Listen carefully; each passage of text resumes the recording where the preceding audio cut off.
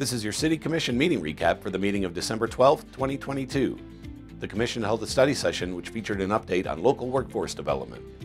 At the regular meeting, Commissioners authorized agreements for security services and indigent counsel services for the Salina Municipal Court.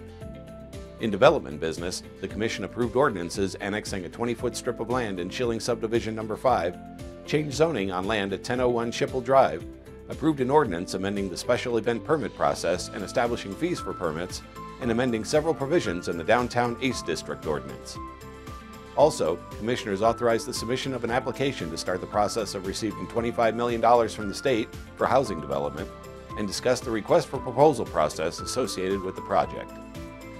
The Commission voted to place on the December 19th agenda a discussion about mayoral succession.